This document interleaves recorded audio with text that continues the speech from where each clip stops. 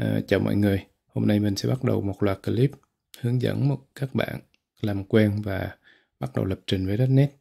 À, các clip này thì có lẽ là sẽ phù hợp với những bạn đã biết à, ít nhất một ngôn ngữ lập trình nào đó. Có thể các bạn à, không cần phải, phải giỏi, nhưng mà các bạn đã biết được à, các cái khái niệm cơ bản về lập trình, ví dụ như là các cách chạy chương trình, các cách debug, hoặc là các cái khái niệm cơ bản trong chương trình. Ví, ví dụ như là à, biến kiểu dữ liệu hoặc là các cái um, khối ờ, ờ, các cái khối điều khiển vân vân các vòng lặp vân vân. Có nhiều bạn đã học à, một cái ngôn ngữ lập trình nào đó ví dụ như là C cộng cộng hoặc là Java uh, JavaScript. Uh, các bạn có nhu cầu muốn chuyển sang .NET nhưng bạn không biết bắt đầu từ đâu thì mình hy vọng là là clip này sẽ dạy uh, đáp mọi thắc mắc cho các bạn bao gồm tất cả những thứ từ cơ bản chẳng hạn như là uh, giải thích ờ, cách chương trình .NET chạy như thế nào hoặc là cài các cái môi các cái môi trường lập trình như thế nào. Uh, chúng ta sử dụng cái uh, trình Visual Studio cài đặt nó như thế nào chúng ta cần cái gì trong đó vân vân và vân vân. Thì để bắt đầu uh, các bạn các bạn sẽ đặt câu hỏi là khi khi các bạn muốn lập trình với .NET thì các bạn nên dùng hệ điều hành hoặc là uh, cái trình à, soạn thảo nào. Thì uh, vì .NET là được được um, uh, tạo ra bởi Microsoft và gần như mọi thứ nó tuy tuy là nó được hiện tại là nó được thiết kế để chạy trên tất cả các nền tảng tuy nhiên việc phát triển .NET là dễ dàng nhất Ờ, khi chúng ta sử dụng Visual Studio và chạy trên hệ điều hành Windows uh, có nó có một số công cụ khác. Ví dụ như là uh, Visual Studio cho Mac hoặc là uh, Visual Studio Code. Uh, tuy nhiên thì những cái công cụ đó mình không nghĩ là nó phù hợp cho các bạn. Nếu các bạn kể cả cho các bạn đã uh, quen thuộc làm chuyên nghiệp và kể cả cho các bạn mới bắt đầu học bởi vì khi nếu các bạn dùng các cái công cụ nó không có đầy đủ hoặc là nó nó cần phải thiết lập thêm cái này cái nọ ừ, các bạn bắt đầu với những công cụ như vậy thì các bạn sẽ dễ bị mất tập trung vào những thứ đó và các bạn có thể sẽ mất đi cái hứng thú học tập. À, trước tiên thì chúng ta sẽ cài đặt cái môi trường lập trình và chúng ta sẽ chỉ dùng duy nhất một cái uh, lựa chọn đó là Visual Microsoft Visual Studio um, các bạn có thể search nữa. À, uh, Visual Studio đừng chọn cái phiên bản code. Bạn có thể chọn cái này. Um, chúng ta bắt đầu. Thì chúng ta có thể dùng một cái bản uh, miễn phí của Visual Studio đó là bảng community.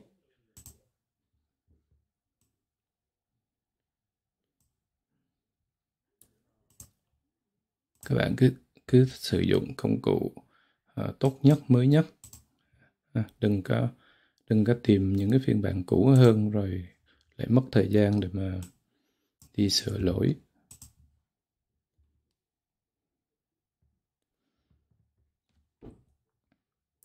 Um, trong .NET thì các bạn có thể nghe tới cái khái niệm là um, .NET uh, Framework. Thì những cái phiên bản đầu tiên của .NET thì nó người ta gọi nó là .NET Framework và nó chỉ chạy trên Windows thôi.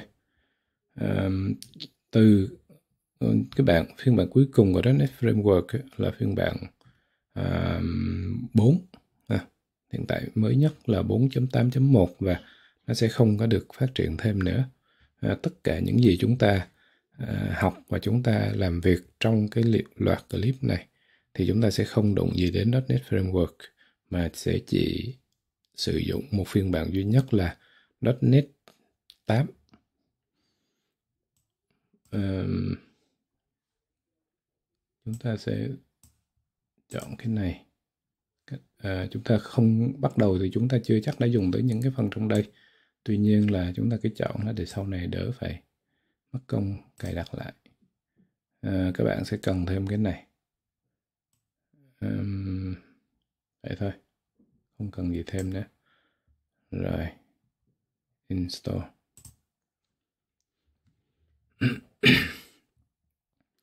Thì um, uh, .NET Ờ, có thể các bạn cần nghe thêm hai cái khái niệm nữa là hai cái tên nữa là .NET Core và .NET ờ, Standard.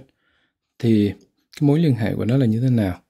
À, khi mà khi mà Microsoft tạo ra .NET lần đầu tiên thì họ sẽ chỉ có một phiên bản duy nhất và nó chỉ được chạy trên Windows thôi. Um, người ta gọi nó là .NET Framework. Ban đầu thì người ta phải cài, phải cài riêng. Tuy nhiên là uh, sau này thì nó được tích hợp sẵn vào trong hệ điều hành Windows luôn. Um, đến những cái phiên bản ừ, Microsoft lúc đó họ không có ý định phát triển cái .NET Framework cho các cái nền tảng khác. À, và cái phiên bản của .NET Framework đó thì nó gắn rất là chặt vào Windows.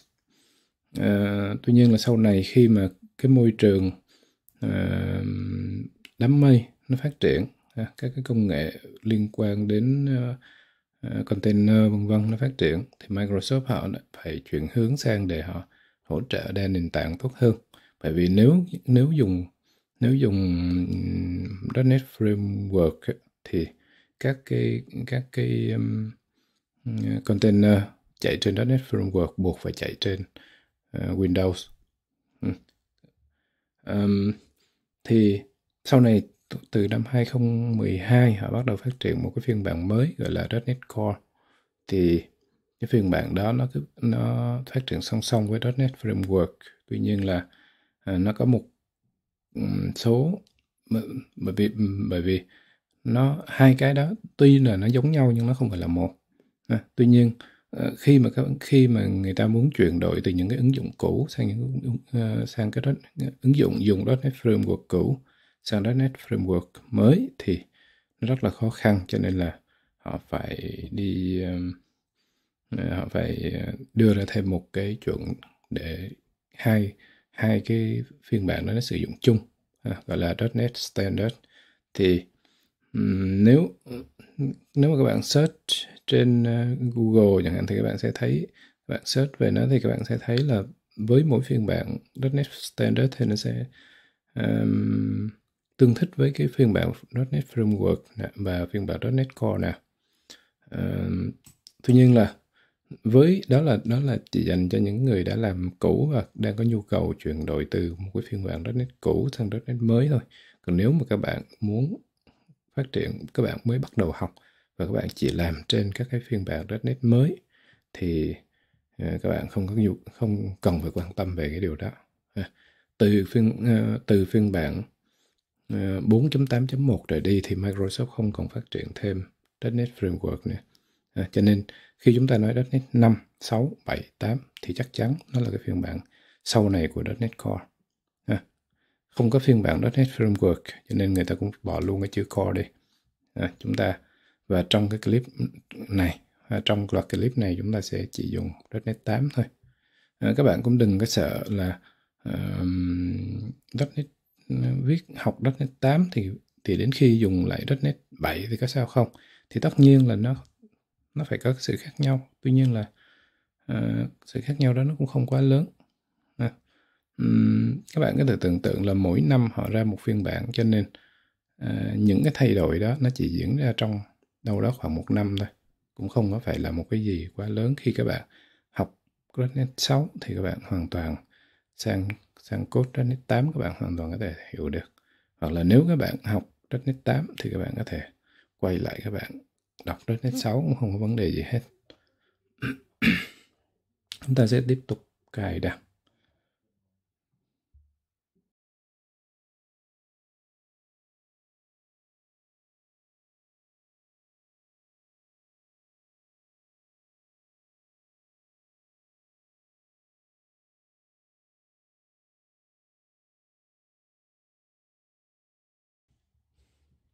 cái này là mình chạy trên một cái máy ảo cho nên là nó hơi chậm thế còn nếu mà mình chạy trên máy thật thì nó rất là nhanh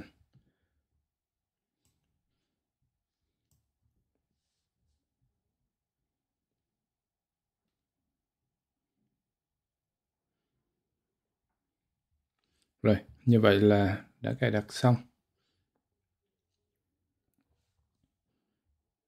Bây giờ chúng ta sẽ để nó lên. Uhm.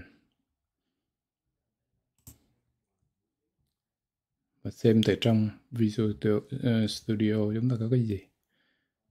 Um, đây, ờ, khi các bạn khởi động lên thì các bạn sẽ thấy cái màn hình này. Thì các bạn có thể làm một số cái thao tác.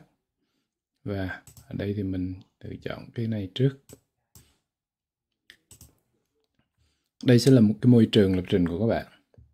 À, bên phải nó là một cái cửa sổ tên là Solution Explorer. Thì các cái dự án ở trong .NET nó sẽ được chia ra thành các cái project và các cái project đó nó phải nằm bên trong một cái solution. À, các nếu các cái dự án trong cùng một solution thì các bạn có thể thêm các cái tham chiếu uh, các cái reference từ từ bên cái project này sang cái project khác um, ở đây các bạn sẽ có thể bắt đầu bằng new một cái project. Um, ở đây chúng ta sẽ học uh, cơ bản nhất cho nên chúng ta sẽ chọn nó là một cái ứng dụng console một cái ứng dụng um, um, nhận lệnh. Các bạn để ý là với .NET sau này thì thực ra các cái ứng dụng web hay là gì thì nữa thì nó cũng sẽ đều là cái ứng dụng bản chất của nó. Cũng chỉ là một cái ứng dụng console thôi. Chỉ khác là một cái ứng dụng web thì nó sẽ load thêm các cái thư viện à, để chạy cái web server lên và nó nạp các cái thư viện cần thiết vào thôi.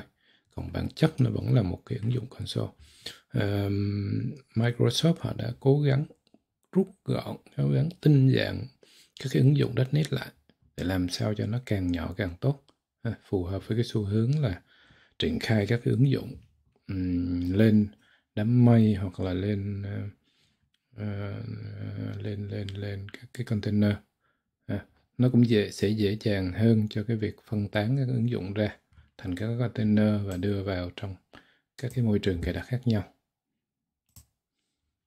À, ở đây mình thử đặt một cái là console app. À, luôn luôn cái ứng dụng của các bạn nó luôn luôn sẽ phải thuộc một cái project nào đó và cái project đó nó sẽ thuộc một cái solution. À, ở đây thì các bạn sẽ thấy là à, cái project của chúng ta nó có tên là um, console app 1 và cái solution nó là console app 1 bây giờ chúng ta sẽ đổi tên nó lại. Hello world. Ví dụ như vậy.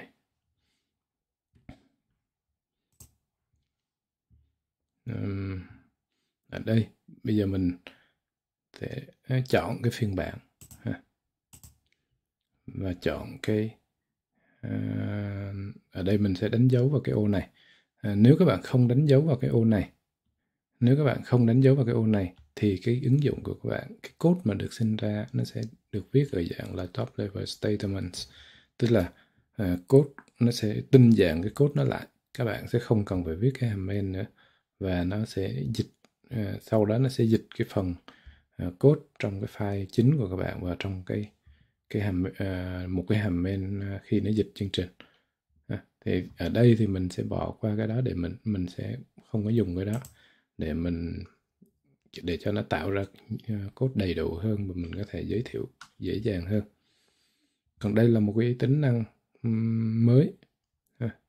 Nó cho phép các bạn có thể dịch cái ứng dụng của bạn là thành các cái ứng dụng native luôn à, nó sẽ chạy như một cái ứng dụng ESC bình thường à.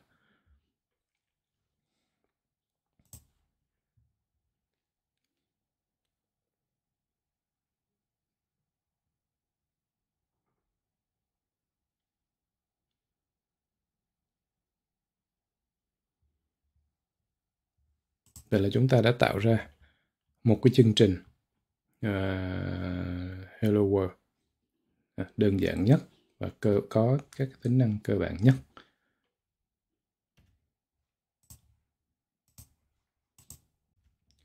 Bây giờ chúng ta sẽ xem um, trong một cái chương trình uh, C Sharp thì có cái gì. Ở đây chúng uh, mình cũng mở ngoặt luôn là trong cái đoạn cái loạt clip này thì mình sẽ chỉ dùng ngôn ngữ duy nhất là C Sharp và với cái phiên bản mới nhất của Visual Studio thì ờ, uh, C Sharp uh, ờ, nó hỗ trợ sẽ là phiên bản C Sharp version 12 và cái ứng dụng mình viết sẽ là uh, chạy trên .NET 8 ở đây các bạn sẽ thấy đây là cửa sổ solution. Đây là cái một cái project. Nếu các bạn có nhiều cái project ở trong cùng với solution này thì nó sẽ hiện ra trong danh sách ở đây. Chẳng hạn như bây giờ mình tạo ra một cái project mới cũng là thuộc cái solution đó. Cái project, hai cái project solution, trong cùng một solution nó có thể bất, là bất kỳ loại gì. À.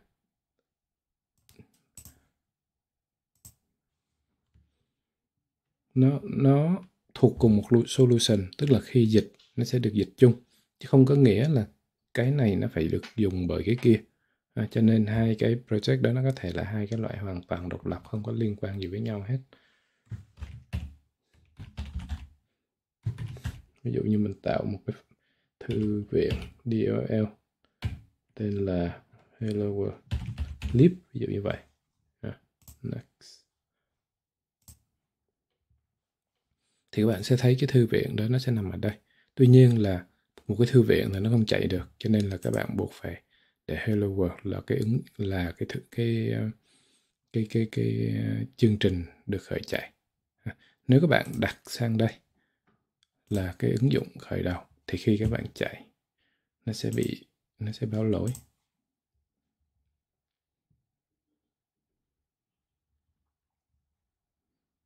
Một cái project mà là cái kiểu class library thì không thể được, chạy. Các bạn phải đặt lại cái này. Và bây giờ chúng ta sẽ chạy thử.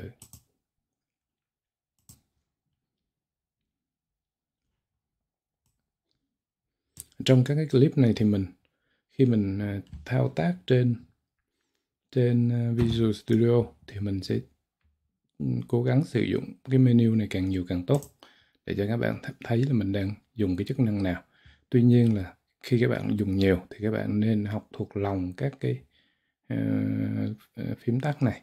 À, để để các bạn chạy mà không cần phải bấm ừ, mất thêm mất thêm thời gian. Bấm vào menu rồi tìm nó sẽ rất là lâu. À, như vậy ở đây các bạn sẽ thấy chúng ta đã có cái chương trình Hello World đầu tiên.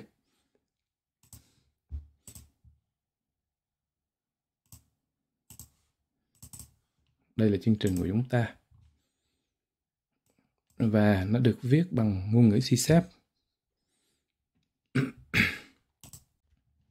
ngôn ngữ C Sharp thì nó khá giống với Java. À, và nếu khi nó đã giống với Java thì nó cũng giống với um, với với với uh, C++, C cộng cộng. À, cho nên với những các bạn với những bạn nào đã biết Java hoặc C cộng cộng thì học sẽ rất là dễ dàng. Um, chương một chương trình uh, một chương trình .NET một chương trình C Sharp yeah, ở đây mình đôi khi mình sẽ dùng lẫn lộn hai cái cái cái cái khái niệm đó ha. Các bạn học .NET viết bằng C Sharp cho nên đôi khi mình sẽ nói uh, chương trình C Sharp hoặc chương trình .NET thì chúng ta có thể hiểu chung là nó là một. Uh, một cái chương trình .NET thì nó sẽ có các cái lớp. À, trong .NET các bạn luôn luôn phải viết uh, code bên trong các cái lớp. À, không có code nào nằm bên ngoài lớp như trong C cộng. À, chương trình của các bạn luôn luôn bắt đầu bằng một cái hàm là hàm main.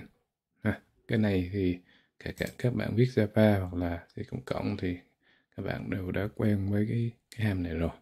À, và cái thông các cái um, các cái ờ, thông số sẽ được truyền thông qua cái biến này. À, chúng ta có thể viết ví dụ như là um,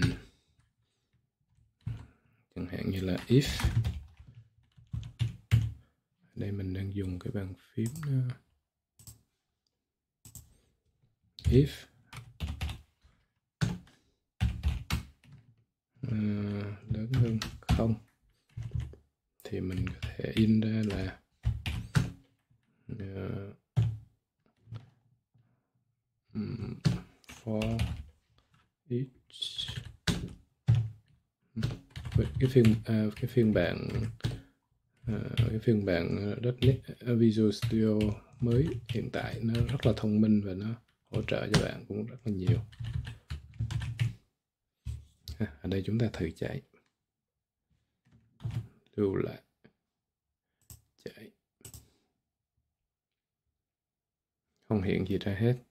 Bây giờ chúng ta thử thiết lập cái uh, tham số cho nó. Để khi các bạn chạy nó sẽ hiện cái thông số đó ra.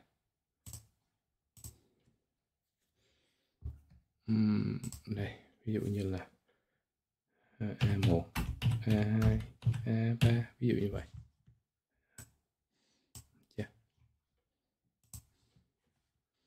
Giờ chúng ta chạy đâu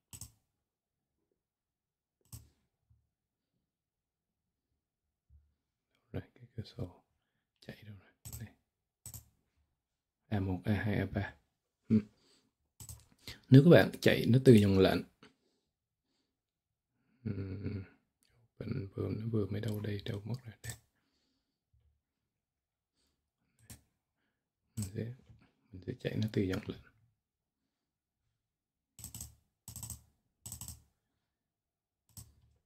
các bạn thấy thấy cái thư mục nó dịch ra là nằm ở đây. Trong cái thư mục dịch ra nó sẽ nằm trong bin à, và tùy vào cái profile các bạn đang chọn thì nó sẽ là debug hoặc là release. À, các bạn có thể thấy cái profile nó nằm ở đây. À. um,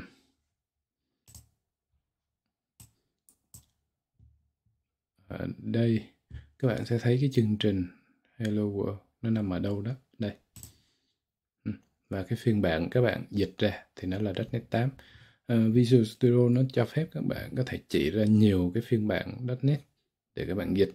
À, tức là ví dụ cùng cái project đó nhưng các bạn có thể chỉ ra là dịch cho tôi à, sang một cái đích sang cái đích là .NET 8 và .NET Framework 4.8.1 chẳng hạn. Các bạn có thể yêu đặt được như vậy. Tất nhiên là nó sẽ khi đó các bạn sẽ phải viết code để nó tương thích được với cả hai một là các bạn sẽ phải dùng các cái điều kiện để các bạn biên dịch. Hai là các bạn sẽ phải chọn một cái phiên bản C Sharp nào mà tương thích với cả hai cái đó. Giờ mình sẽ chạy nó với dòng lệnh ha. Hello. Hello world. Hello world. A1 ừ, a a a a b ví dụ như vậy. Ha như vậy là chúng ta đã biết cách chạy một cái dịch tạo ra một chương trình .NET dịch và chạy. Đó là đó là một cái bước rất là nhỏ nhưng rất là quan trọng. Không có cái bước nhỏ này thì sẽ không có bất kỳ cái bước nào sau này. Bây giờ chúng ta quay lại với cái chương trình à, mà chúng ta đã viết đây thì ở đây các bạn sẽ thấy có một số cái thành phần nó có một số cái thành phần. À, thứ nhất nó có một cái gọi là namespace à, bởi vì trong .NET à, nếu các bạn đã làm với Java thì các bạn sẽ không có lạ gì với namespace hoặc là C cộng. Cộng thì bởi vì uh, trong .NET các bạn có thể có rất là nhiều lớp rất nhiều là nhiều thư viện vân vân vân vân và cái việc đặt nếu mà để nó chung một chỗ thì cái việc đặt tên cho nó sẽ rất là khó. Ha, chúng ta sẽ khi nói chung tới nói tới cái hàm ví dụ như khi nói tới cái lớp uh, uh, stream chẳng hạn thì chưa thì có thể nó sẽ nằm trong cái gói trong nằm trong cái thư viện system.io nhưng mà cũng có thể nó là một cái stream nào khác nếu chúng ta gom nó chung một chỗ chúng ta sẽ không có cách nào đặt tên hai cái class trùng tên với nhau được à, hoặc là http client chẳng hạn thì không không thể được. Tuy nhiên là nó cho phép chúng ta sắp xếp các cái thành phần các cái gói các các cái lớp của chúng ta vào trong uh, những cái không gian riêng. À, và những cái không gian đó chúng ta gọi nó là cái namespace à, thì ở đây chúng ta có thể đặt à, namespace là hello world hoặc là hoặc là my app ví dụ như vậy. À, thì khi đó nếu chúng ta có thể tạo ra một cái lớp program khác trùng tên à, tuy nhiên khác namespace thì nó thì miễn sao khác namespace là được. À, mất tất cả code của chúng ta sẽ đều phải nằm bên trong các class ừ, các class của chúng ta nó có thể sẽ là mặc nhiên ở đây các bạn sẽ thấy nó là internal. Internal tức là nó sẽ được phép truy cập từ bất kỳ đâu trong cùng cái project. Ừ. À, tuy nhiên là nếu các bạn làm với những cái ngôn ngữ khác thì các bạn sẽ thấy rằng nó nó cũng vẫn có những cái uh, tầm vực uh, ờ, tương tương tự như trong những cái ngôn ngữ khác ví dụ như public hoặc là private. Uh, vân vân và vân vân. Thì ở đây là cái hàm hàm main cho nên là chúng ta để nó là public. À, đây là đây là một cái hàm bên trong uh, bên trong class program. Và như hồi nãy chúng ta có nói thì uh, nó luôn luôn chúng ta luôn luôn bắt đầu chạy từ hàm main um,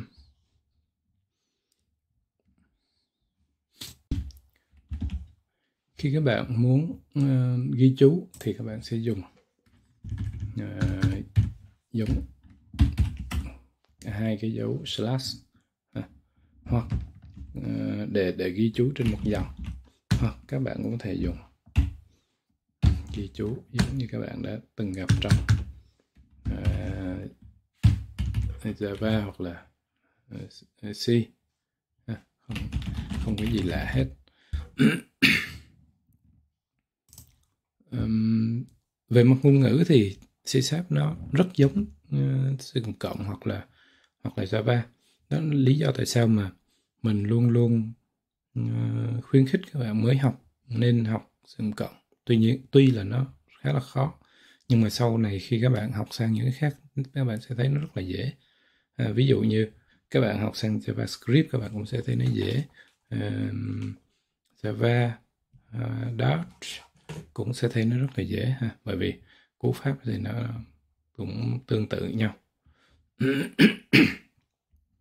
Và um, các cái khối lệnh của nó thì cũng dùng cái dấu mặt nhọn y như các cái ngôn ngữ dòng xưng cộng. Như vậy là như vậy là tới đây là chúng ta đã có một cái khái niệm cơ bản về uh, một cái chương trình .NET như thế nào cách các bạn bắt đầu như thế nào. Uh, thì sau sau cái clip này các bạn nên tự cài đặt. Visual Studio thử viết ra một vài chương trình. Các bạn có thể uh, bắt đầu bằng những cái bài tập đơn giản hoặc là nhập vào một vài con số rồi uh, tính toán giá trị biểu thức hoặc là cái gì đó giống như các bạn học những ngôn ngữ khác. À, thì trong trong .NET nếu các bạn muốn đọc vào uh, trong C Sharp các bạn muốn đọc từ dòng lệnh à, các, các bạn từ cửa sổ mang uh, console thì các bạn có thể dùng cái lớp này console để và read. Ví dụ như string s bằng hạn như vậy ha. thì um, ghi ra thì ờ, đọc vào thì read line mà ghi ra thì là write line. Tuy nhiên là khi các bạn đọc là read line thì các bạn sẽ nhận vào một string. Và .NET thì nó là một ngôn ngữ chặt chẽ về kiểu cho nên các bạn sẽ không thể nào các bạn uh, ép kiểu từ string sang một cái kiểu số được. Uh, khi đó thì các bạn sẽ phải thêm một bước nữa. Ví dụ như các bạn muốn đọc nó là một kiểu nó là kiểu um, int đi thì bạn có thể viết là int i n bằng s bằng int chấm past s ví dụ như vậy ha. Và in ra n. Ha, chúng ta chạy thử.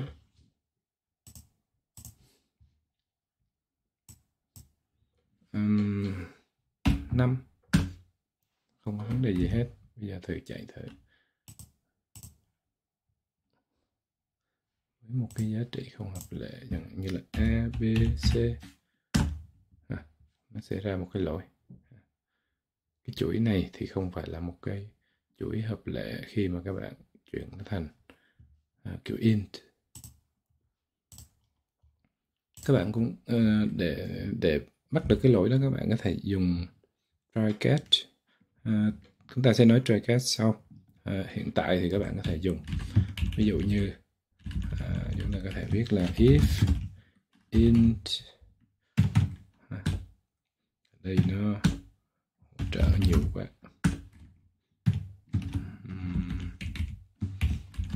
Invalid int value. Như vậy. À, nếu các bạn có thể nếu các bạn thử uh, biến nó thành uh, dịch nó thành một cái kiểu int mà được thì các bạn in ra còn ngược lại thì các bạn uh, in ra cái câu báo lỗi ha.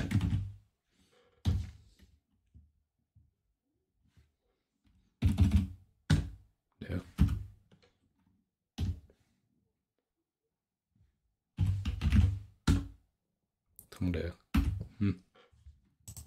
Các bạn thử dùng nó để viết một cái bài giải phương trình chẳng hạn giải phương trình bậc nhất giải phương trình bậc hai vân vân. À, các bạn à, hoặc là những cái bài chẳng hạn như là à, vẽ cây thông vẽ tam giác vẽ hình chữ nhật vân vân bằng các ngôi sao. À, cố gắng viết thật nhiều càng nhiều càng tốt. À, để chúng ta khi chúng ta đã thành thạo rồi thì chúng ta sẽ tiếp tục à, đi sâu vào những cái phần kế tiếp trong cái clip kế tiếp. À, mình sẽ cố gắng mình làm cái clip kế tiếp càng sớm càng tốt.